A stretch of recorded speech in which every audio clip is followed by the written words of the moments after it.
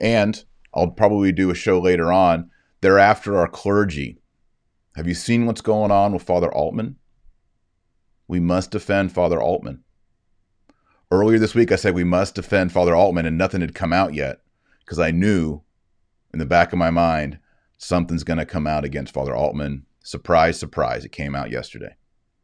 Father Nolan, Fraternity of St. Peter, also called into the bishop's office in Denver for saying that the mandate to wear a mask in liturgy is contrary to reason, contrary to the common good, which are two conditions for a just mandate or a just law, according to Thomas Aquinas, and therefore not obligatory upon the lay people. He also got in trouble. And it seems that the fraternity of St. Peter, in general, might be in trouble on this. Isn't it interesting that the bishops will mandate a mask, but they won't mandate modesty standards? They won't mandate chapel veils? It's interesting, isn't it? One of the saddest things about being Catholic in 2020 is living the experience of Padre Pio. Padre Pio was a holy man, a good priest. He had the stigmata.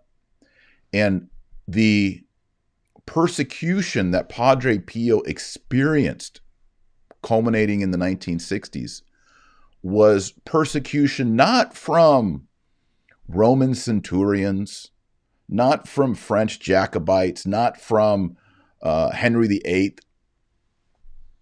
The persecution that Padre Pio received was from within inside the church. He was persecuted by his fellow priests and by his own hierarchy. And that pattern now echoes and becomes louder and louder as the decades have rolled on since the 1960s. We, as Catholics, are experiencing the etern- internal, the internal persecution. And when you look at Father Altman or Father Nolan or any of these priests who dare to speak about traditional Latin Mass, uh, traditional Orthodoxy, the rights of the church over the state, not the other way around. You see, governors don't get to tell bishops what to do. That's not how it works. These priests are receiving persecution from the inside. Father Frank Pavone, he gets called off and says, hey, you can't do anything with that Trump campaign.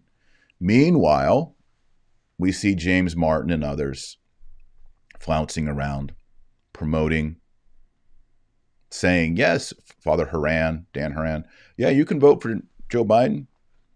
Follow your conscience, follow your conscience. Same old 1960s, 70s, kumbaya Jesuit. Blech.